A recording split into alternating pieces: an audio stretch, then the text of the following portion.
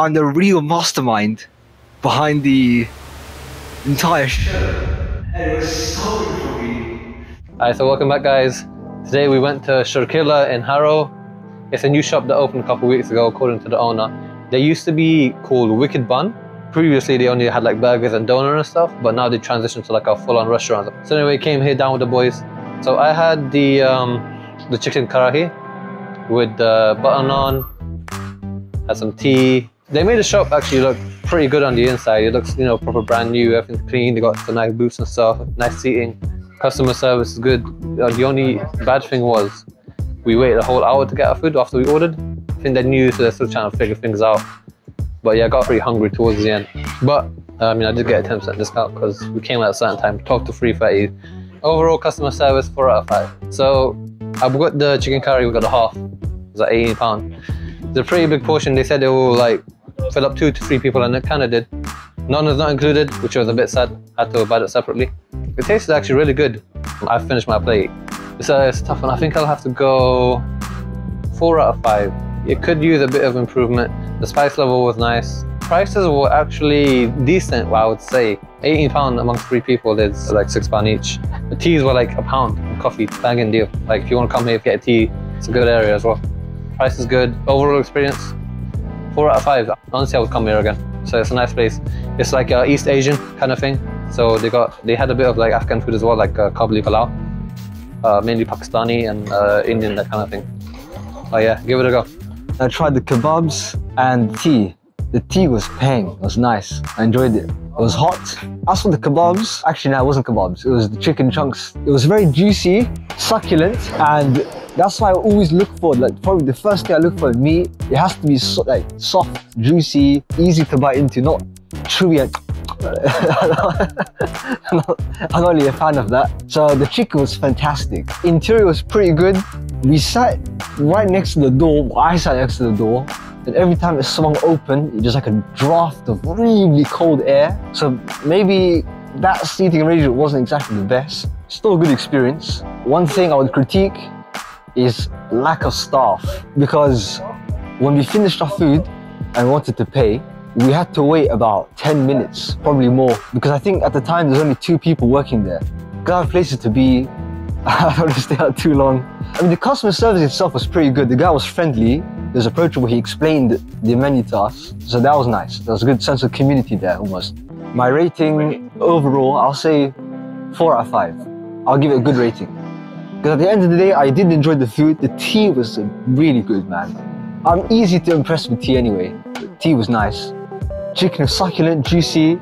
Sauce was nice. Done. Four out of five.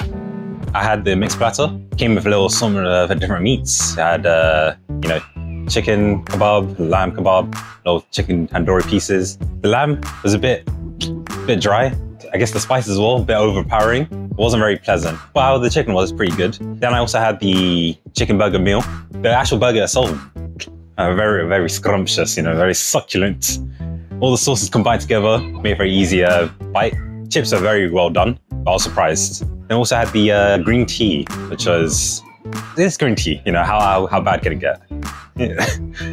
so uh, yeah, overall, I'll give it a I give it a three out of five. Like being generous.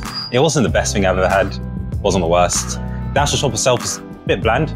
Not really more about atmosphere. More just getting there, get your food, and go out. That being said, the decor is pretty nice.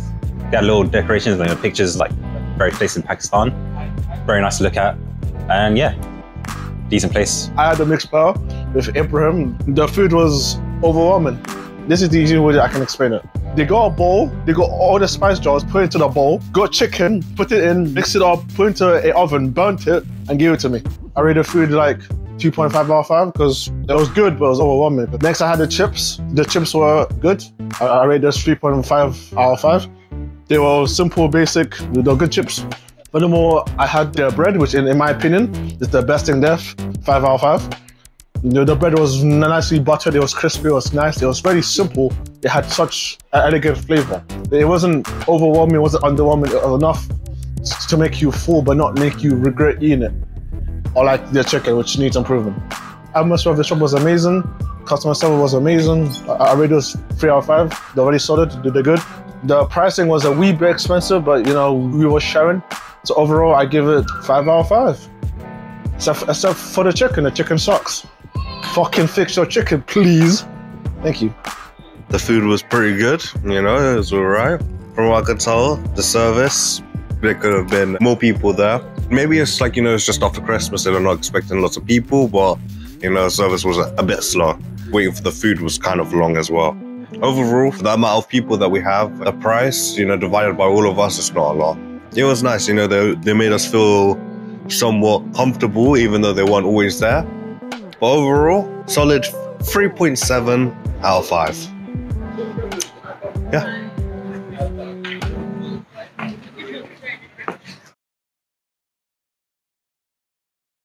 I'm the real mastermind behind the entire show. it was my idea, and it was stolen from me. They stole my child. I'm joking. It was my idea, but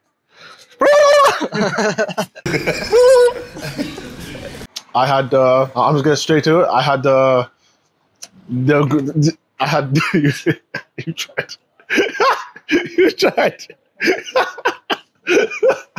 Anyway, you tried. Look at this idiot. What's the overall rating? Five. Five out of five. Yeah. How does, how does that add up to five out of five? Five out of five, everything's perfect. Yeah. Everything was perfect except for, for the chicken. You just said you don't like meat in general. Exactly. So, so no, no, don't don't say something completely different than what I point out. You say exactly. That's not how it works. Fuck me bread, and I'll say it. I don't care about content. Give me the bread.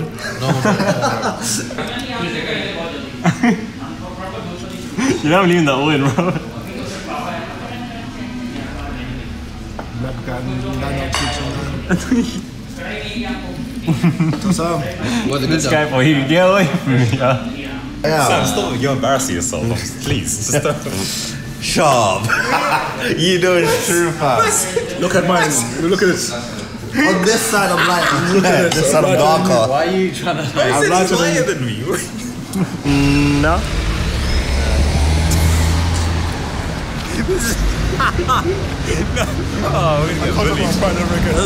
I can't. Alright, we're not, we're not South Should have told me this earlier. Not to do these things. What things? The dabbing, the Cheers, bro. Too late. I did it once, so you have to join me. Nah, nah, nah. If I'm going down, the black man's next to me is going down as well. Yeah, Allah, this guy. Ah, this donkey. Charles, you need to. Charles, I'm gonna do you like I did this. You did your little sister, yeah. Let's go. Uh, I say left a while ago.